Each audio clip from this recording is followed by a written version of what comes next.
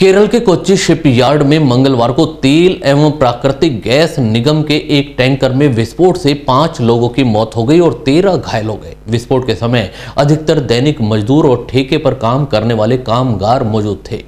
मंगलवार को अवकाश होने की वजह से शिपयार्ड का कोई भी नियमित कामगार वहाँ मौजूद नहीं था।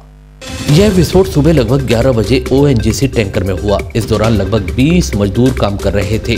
कोची शिपयार्ड में बीते एक महीने से मरम्मत का काम चल रहा था। सूचना मिलने पर पुलिस के आला अधिकारी और शिपयार्ड के शीर्ष अधिकारी दुर्घटना स्थल पर पहुँचे।